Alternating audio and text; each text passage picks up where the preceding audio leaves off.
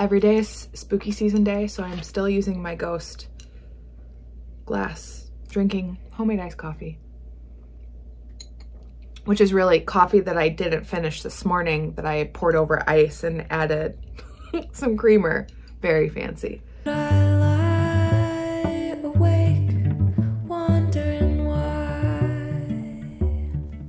Hey fiber friends, welcome to episode 13 of the Botanical Knitter Vlogcast. I'm Emily, I'm a knitter, spinner, sometimes natural dyer, but just for funsies, sometimes crocheter or wannabe crocheter, and I live in Minneapolis, Minnesota. You can find me on Instagram as The Botanical Knitter and on Ravelry as Botanical Knitter. Everything I talk about today is going to be listed in the video description below, but I've been doing a pretty decent job on Ravelry and my project pages of capturing needle size that I use, size that I knit, any modifications, the yarn, all of those things. So if you want more details, you can go there. I'm mostly doing it out of pure self-interest because when I reknit things, I think I'm gonna remember what I did and I don't. So this is for future Emily as well as all of you. Today I am wearing the vest number three by My Favorite Things. I've shown this on the podcast before, vlogcast, whatever I am, but I haven't worn it yet.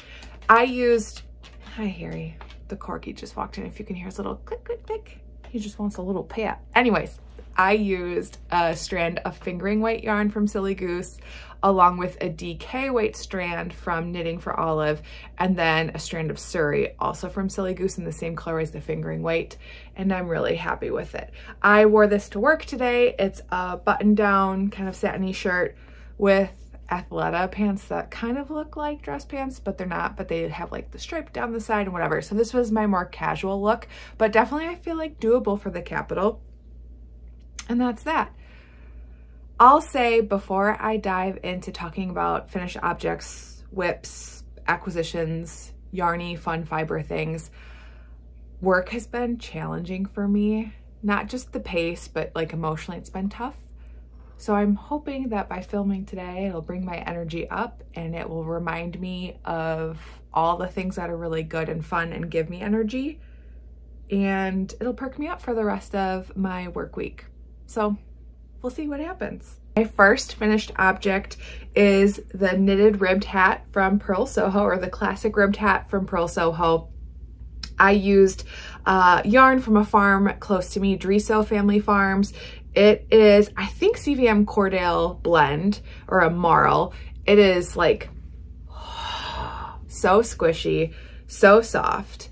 You can see where I ran out of skein one because I knit it longer than the pattern calls for. And on Ravelry, you'll see, um, I, I think I did 80 rows before I started the hat decreases.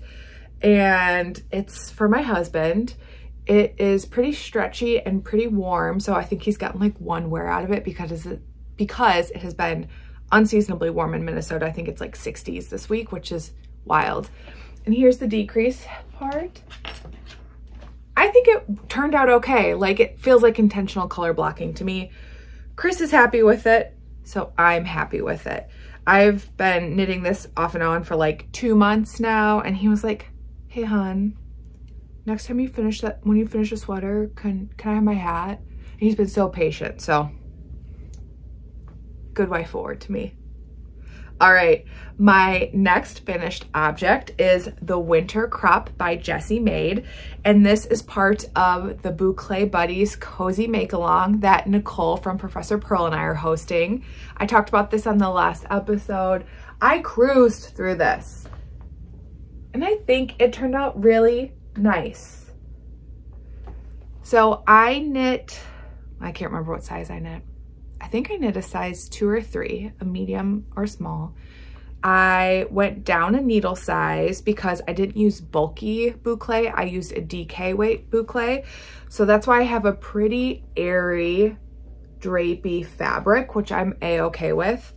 I held the collar, the cuffs, and the hem with Bella Filato Suri in this really pretty pale pink because I thought it pulled out the warmer parts of the brown.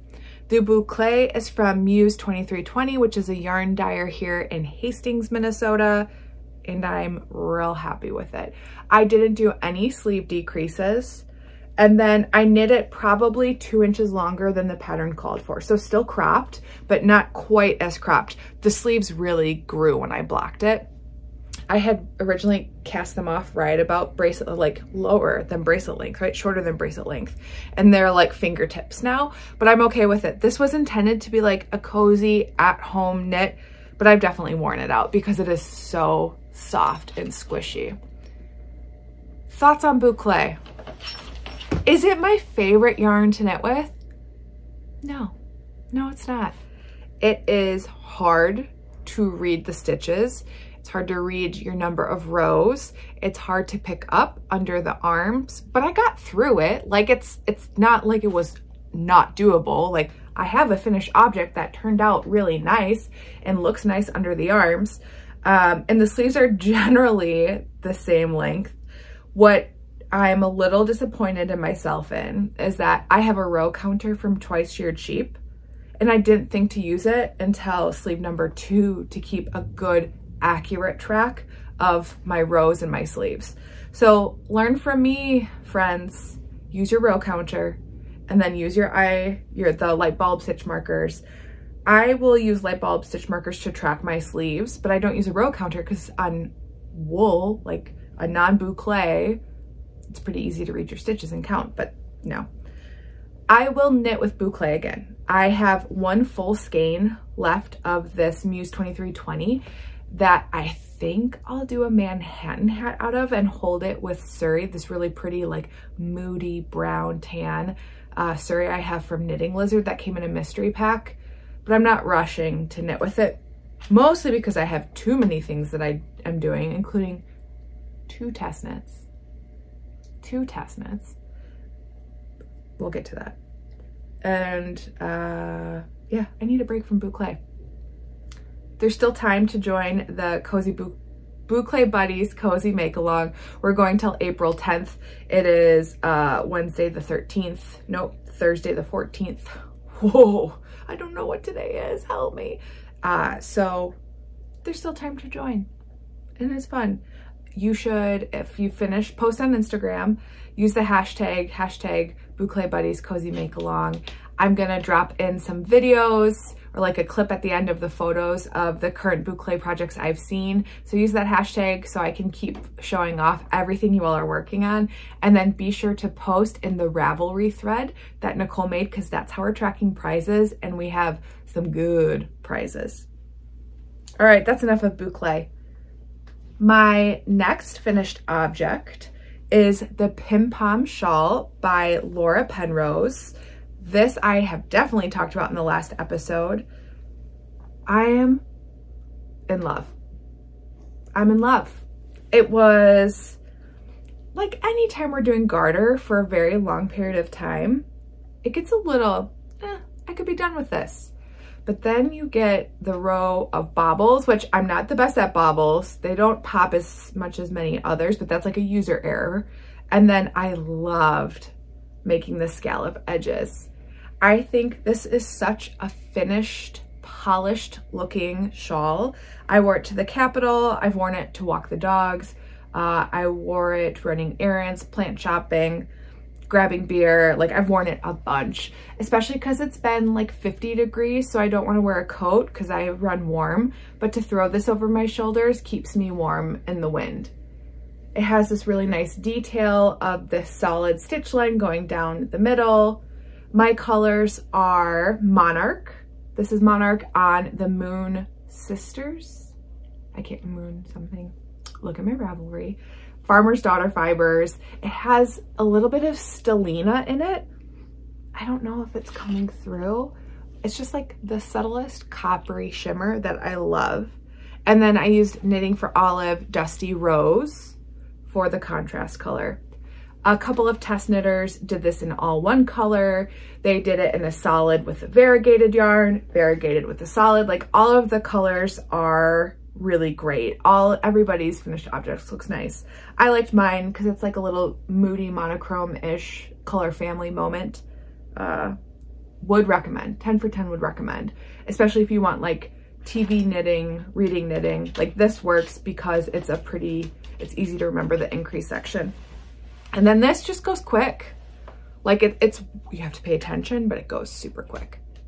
All right, that's my third finished object.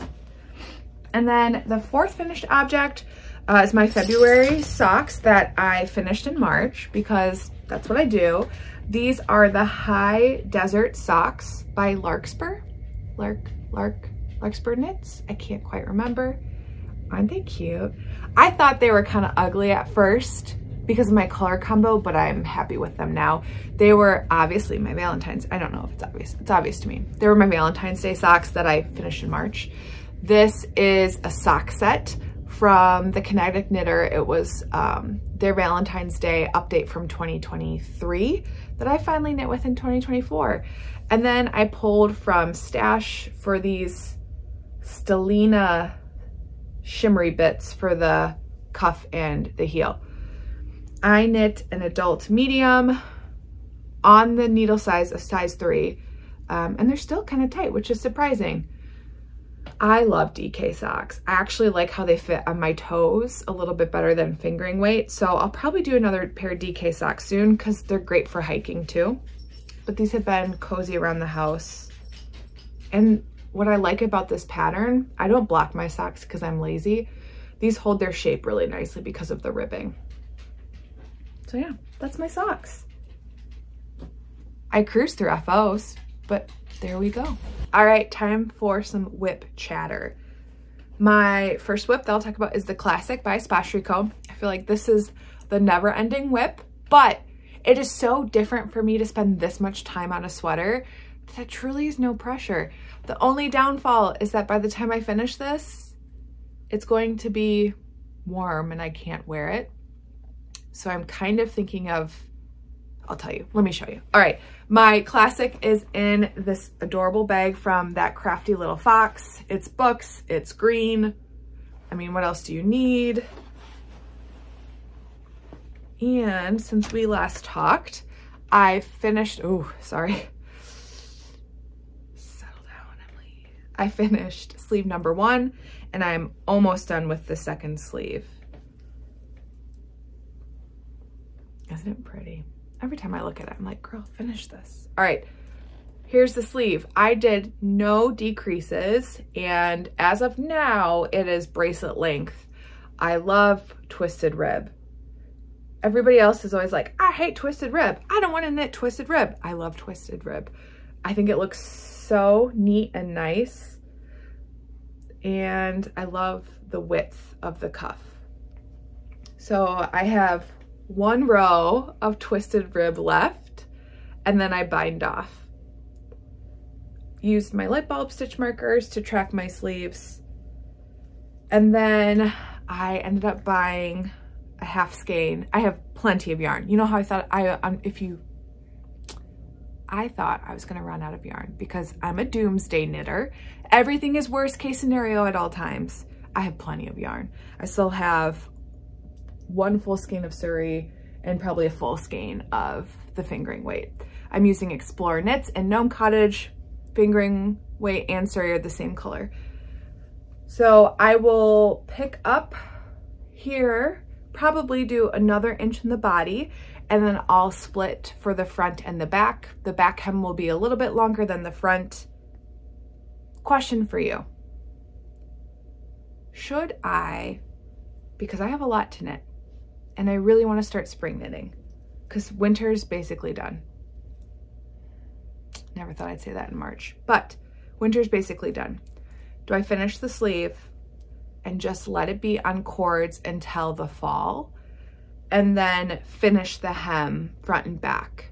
And then I'm gonna let it go. It's not gonna be sitting in my WIP drawer bothering me like it's just in timeout until I can wear it or do I just finish it slowly over the next couple of months, even though I should really be putting time into other things that are more seasonably appropriate slash test knit deadlines.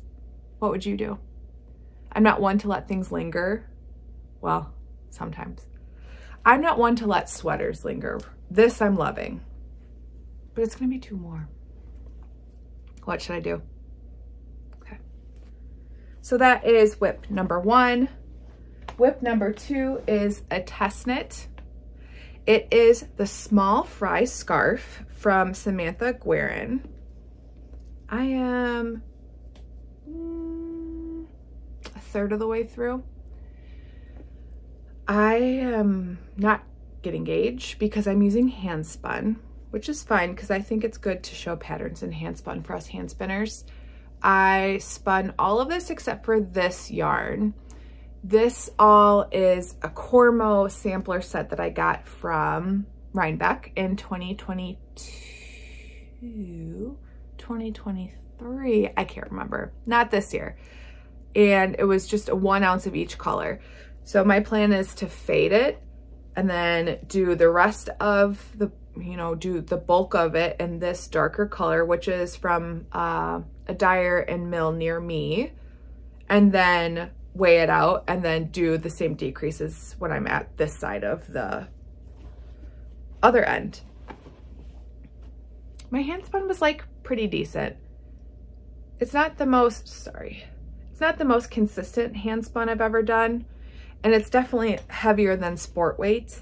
Um, but I really wanted to use the pattern for my hand spun and I think Sam has been pretty flexible test knitter on gauge and things like that, especially when it's a scarf and not a garment. So yeah, it'll be a cute little neck scarf that I wrap around. I know they're all the rage right now, um, so I love that.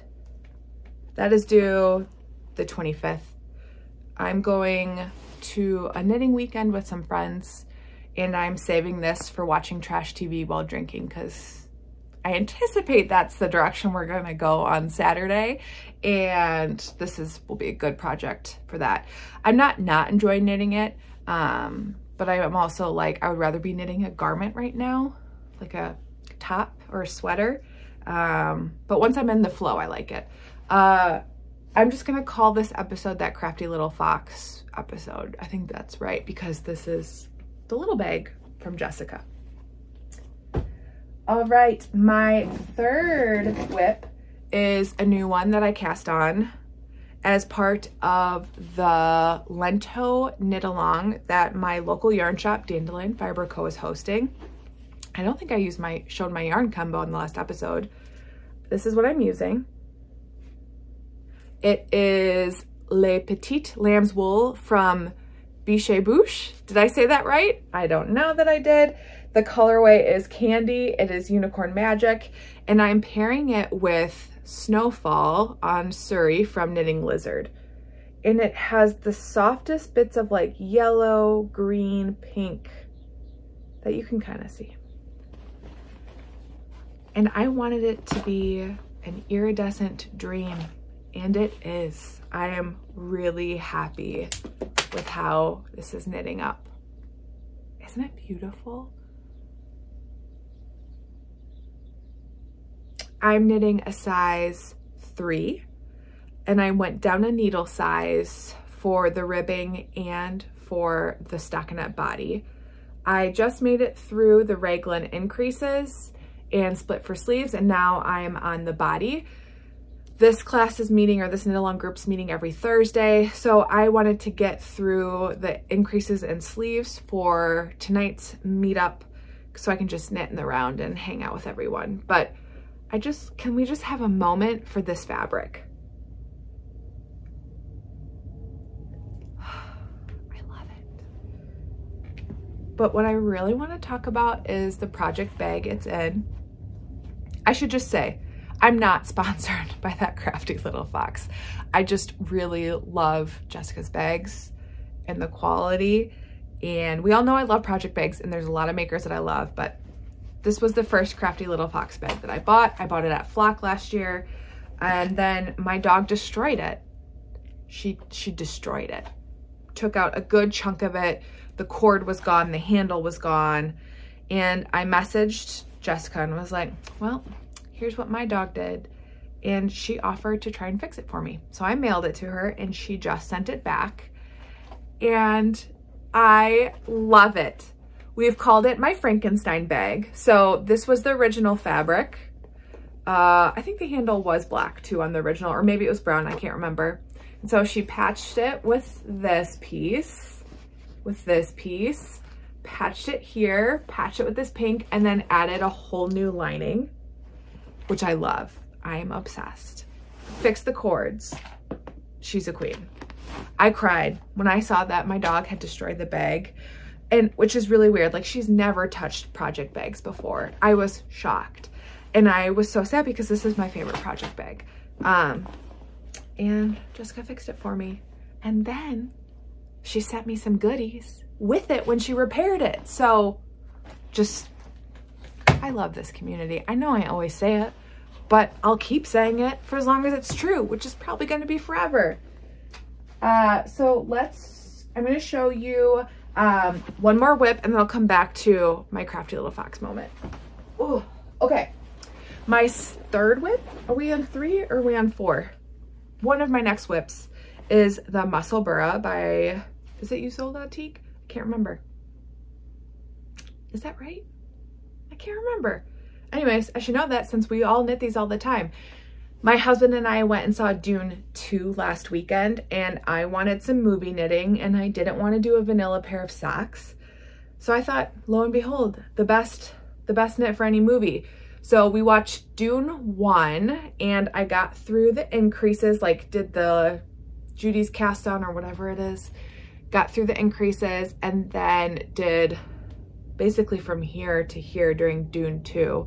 My only mistake was that I knit a stitch marker into the knitting. It was like all the way down here. I just cut it with wire cutters.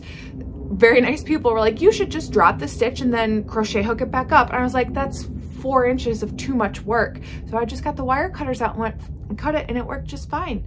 This is the Pie Day yarn, 2023 Pie Day yarn from Pigment and Ply.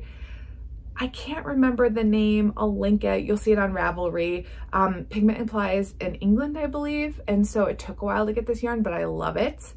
Pie Day is happening right now on the Instagram. I don't know that I'm going to order anything. Salty Blonde has a gorgeous yarn. Um, Knitting Lizard has a really nice French silk pie, I think it is. And then there was a berry one, and I can't remember the dyer's name. It was a new to me dyer. But I was like, do you need another sock set? You know, anyways. So this far in the Musselburgh, I'm gonna knit until I get to like 10, 15 grams left and then I'll do the decreases. I like my Musselburghs longer because I like a thicker brim. And this is going to be for me unless it doesn't fit, which is likely to happen. Um, but this has been a good one to grab during conference calls or when I don't really feel like focusing on things and I can just knit in the round. And shout out to my newest stitch markers from Twin Mountain Handcrafts. I got the mint, their new mint resin that has like flex in it and they're all booked themes. So it's kind of hard to see, but they make me real happy.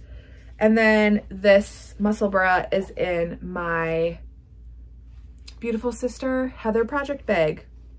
I'm using a US 2 needle um, and I think I'm getting seven stitches for my gauge. So I'm knitting an adult medium on US 2s and that's my gauge.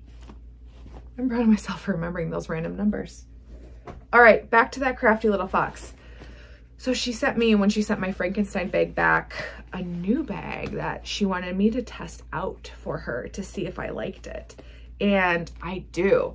It's a snap bag and I love snaps snaps I think are my preferred over cinch or zippers, um, which is why I like the Barley Purl snaps are always my fave. And this fabric she dyed, which is so cool. And then it has this really pretty pink accent. I love the breast snaps. My favorite part so far is that the handle is movable, rotatable, which makes it really easy to grab. I don't know. I just love that detail of it. It's got a wider base, which I like. And then the inside is this really pretty fabric. So this is like a moody little, little bag and I love it. Inside this bag is, oh, I forgot. She also sent me this one to try out. It's a little notions bag. It's the same kind of base, wider base, stands up on its own, has the cutest little fabric on the inside and is a zip. And I have fit a hair clip, stitch stoppers, uh, stitch markers, a pretty decent pair of scissors and my needles for my next knit. So this, it's so roomy. I could put hand lotion in here. I could put chapstick. It fits it all. So endorse. so uh, hopefully she'll finalize kind of the project design and move forward with it because I think it's a goodie. All right, my next knit that I haven't cast on yet, so we're kind of moving into acquisitions, future knitting, is a test knit for Tori Knits, which I can't say no to Sam Guerin and Tori Knits. It's just like Tori NYC, I, Tori U, I have to. I am doing the Skyline Tee, which is the t-shirt version of her Skyline pullover, Tori Skyline pullover. It has like the most beautiful ribbing detail, short sleeve, and I am using this yarn. It is Gloam from ZeeZee Textiles on the Fingering Non-Superwash base. I have three skeins. I got it in a mystery pack. The pattern in my size calls for um, probably about two and a half skeins. So I'll have a little bit of leftover, which is fine. I can crochet it or into my blanket that I keep planning for, but haven't started. Um, this is due in like a month. So after I finish, my knitting weekend priorities are finishing the small fry scarf and casting on my t-shirt. And that is the only knitting I'm going to bring with me to force me to do my deadlines and be a good test knitter and support the people I say I'm going to support, which I always will because I'm a rule follower, but that's, that's that. All right, let's talk future knitting. We'll continue the acquisitions chatter. And then I'll dive into just what's been happening in the fiber space, fiber community, and other things in my knitting adjacent life. First up, let's do future knitting. The other thing I really need to get doing or get to after I finish my test knits is a sheep camp pullover for my work colleague. I need to do that. I have to do that. Yeah, done, done. acquisitions. Um, I, I thought of Sheep Camp because I did get some yarn in the mail from Treehouse Knits. I, I, I don't think I talked about this in the last episode. If I did, sorry, you're gonna see it again because the yarn's that good, but I'm pretty sure I didn't. So I got three skeins from uh, Treehouse Knits of the Northern Lights Cannabis Indica on DK. This is from um, Lauren, I think I said that right, uh, Treehouse Knits Office Collection, which is my favorite show of all time. I got this on the organic DK because look at how yummy that color is. I mean, it matches my eyeballs. I'm a big fan. And this is gonna be a sheep camp for me with my hand spun. I have some hand spun that I think will be perfect. So that's one. And then I couldn't help myself but get more green yarn because welcome to the greenhouse. This is Schrute Farms on the spruce sock base, which is 75% merino, 25% nylon, 436 yards. So it's a thinner sock weight. And I don't know what I'm going to make with this. Probably some sort of tee, like with elbow length sleeves. If you have any recommendations, let me know. But I think it's just really dreamy. And then my other acquisition was a fun one. I mean, all yarn is fun, so there's that. But this skein of yarn I picked up at Knit and Bolt, which is another yarn shop here in Minneapolis. They also have fabric and Fangirl Fibers. Emily from Fangirl Fibers was doing a trunk show. I've met Aunt Emily and spent some time with her at various fiber festivals, and so I was excited to see her in my hometown. Uh, she's over in Wisconsin, and I picked up this skein of yarn because it is moody and perfect and Cassian. So it's a uh, it's a little shout out to ACOTAR and I love it. I love it. I love it. Isn't that really pretty? Like Speckle Queen. I don't know. This will probably be a pair of socks. It's 400 yards, 80% merino, 20% nylon. Em sold me on this because she's like, I probably won't dye that again. I was like, okay, I'll get this one. But like, just look at that top part so good. So I ended up getting Summerly Knits new sock book and I'll probably pick out a sock from there and probably make these in the fall because they feel spooky, moody, their vibe. so that's the yarn. I've been trying to be really good about not buying yarn and saving my budget for Shepherd's Harvest, which is a fiber festival here in Minnesota in May. And then uh, buying fiber from my friends who have like Teresa and Amy because they have gorgeous things. So I've been trying to do more with them. I signed up for Teresa at Get Ben's Farm, her CSA. So I will be getting, I think, a full share, which is 300 yards of her mill spun yarn once a month, which I'm like, that has to be something like some sort of shawl or maybe a sweater and be like my Minnesota friend sweater. So we'll see about that, but saving for that.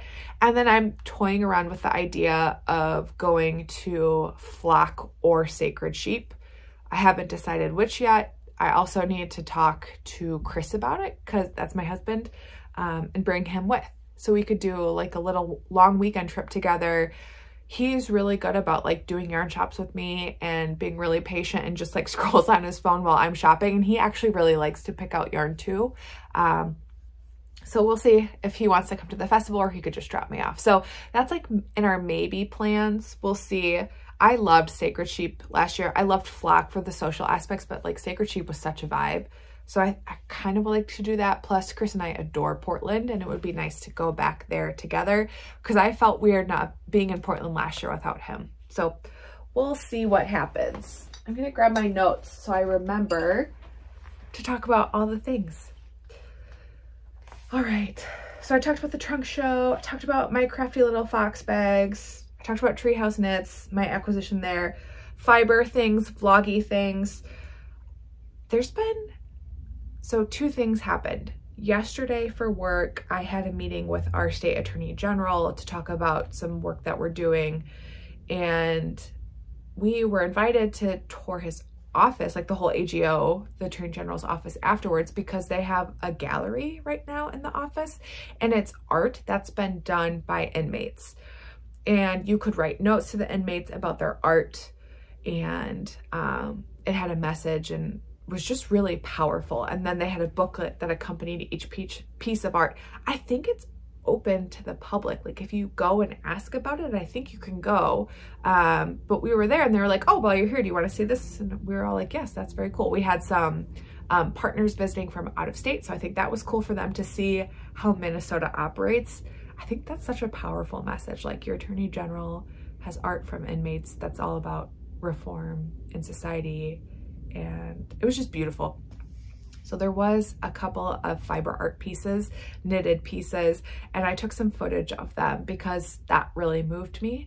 And the meaning and the message with each of the fiber art pieces was really powerful to me. Um, I wrote one of the artists a note saying like, I knit, thanks for sharing your fiber art with us and using your words. So that was really cool.